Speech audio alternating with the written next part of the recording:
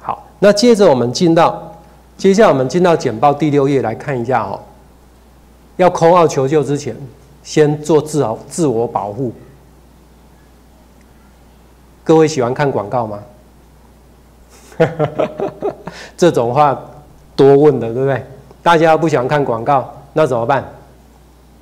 他还是会想办法让你看啊。所以我们就先来挡一下广告，好，因为说真的，我们上课的时候有出现广告，你不觉得也会也是一种干扰吗？尤其如果出现那个 比较敏感的，老师这样上课，我们就觉得不太适合哦。那因此呢，你可以试看看，这个是很老牌的一个广挡广告的一个扩充工具。好，您可以稍微用一下。其实挡广告工具很多，那我是觉得它还算蛮不错的。好，所以您可以先进到这边，在这里，这里有它的，点过来有没有？哎，进到这里来，那您看一下，这里呢，基本上它什么样的浏览器应该都有资源啦。好，那至于说手机上的，我就不太建议大家用，因为你会不习惯，因为它就变成另外一个浏览器啊，你可能大概就比较难接受。好，那所以我建议大家，哎，你电脑上你可以像这样。好，那如果是行动装置上的有另外一个，我有另外一篇文章在那边，不过那个就不是我今天要介绍的哈。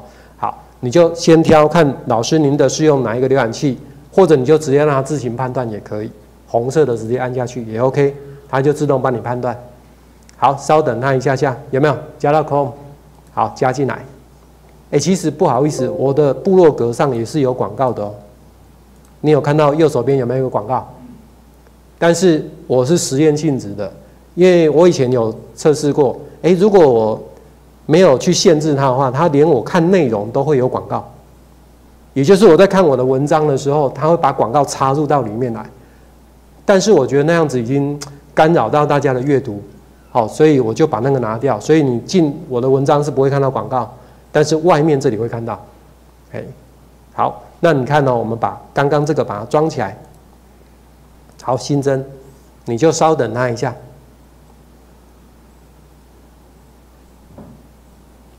有了，你看这样有没有好了？要不要同步那个没有关系。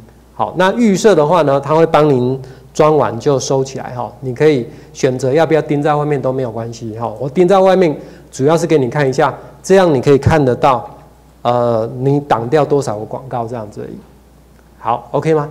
然后呢，你看哦，他还不错，对不对？人性善良哈啊，所以你如果觉得想要抖内的，你就抖内。自由决定了哈，他不会强迫你。好，来，我就把它关掉了。现在你看我的部落格，我重新整理一下。你有没有感觉旁边不见了？他告诉你，哎，这个网站我帮你挡了三个，这样有感觉上网空间比较好一点吧？对不对？哎，所以很多网站，但不可否认了哦，道高一尺，魔高一丈哦。绝对还是会看得到广告，因为有很多网站想要避开它嘛。可是会让你减少很多，好，所以我觉得这个还蛮值得用的。那但是呢，用这个有一个小小地方，各位要注意一下。我有写在下面，因为他做了这件事情之后，已经惹恼了我们 YouTube。因为 YouTube 你会不会看到广告？会对不对？所以本来这个装完之后，YouTube 广告又不见，你知道吗？但是今年啊，今年 YouTube 出手了，他去年就在测试了，哈，今年出手了。所以如果你有安装 AdBlock，有可能你开启 YouTube 的时候，哎，会看到一片漆黑。但是没关系，你只要再重新整理一下，就可以正常观看。好，就是会有现在会有这个小缺点。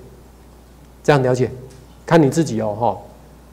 如果你觉得哎，突然发现为什么 You YouTube 没有出来，你就再重新整理一下就好了。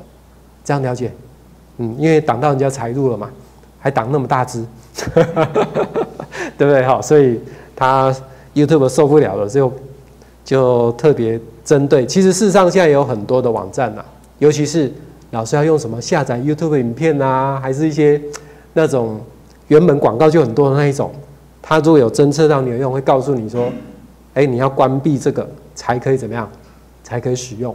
如果万一真的你有这个需求，你可以来这边，比如说在这边，对不对？你就告诉他，点到那一颗，跟他讲，在这个网站上暂停，那它就会让广告跳出来，这样 OK。好，这个是呃给您稍微参考一下，如果您有这个需求的时候，也可以稍微暂停一下它，这是没问题的。好，那知道怎么样？阻挡网页上的广告之后，其实你看我们的右手边这里，右手边，如果您是行动装置上的啦，我会建议您可以装一个叫 Firefox Focus，它其实也是一个浏览器，可是呢，这个就好像各位浏览器，您有用过那个叫无痕模式有没有？跟那个概念一样，可是它的无痕模式是不只是擦除那个痕迹，它还会帮你做广告的封锁。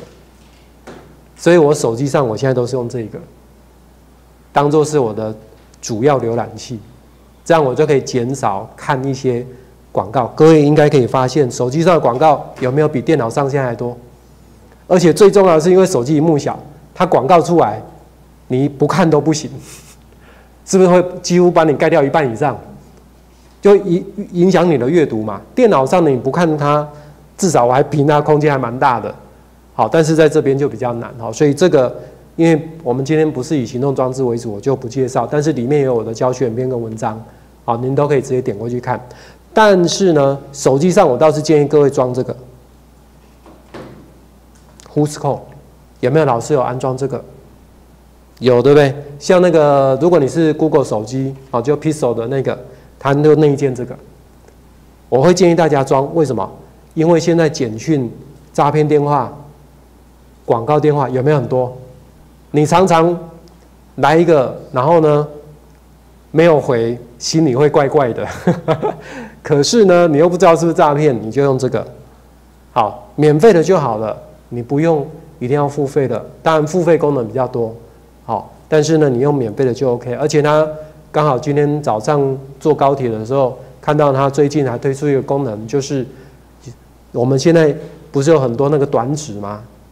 还有很多诈骗的网站嘛，他现在跟那个警政署合作，有推出就是短那个网址的检查，看是不是诈骗的。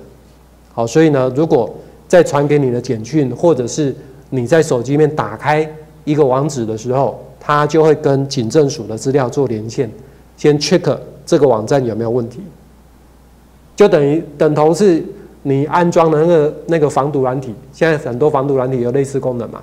好，所以。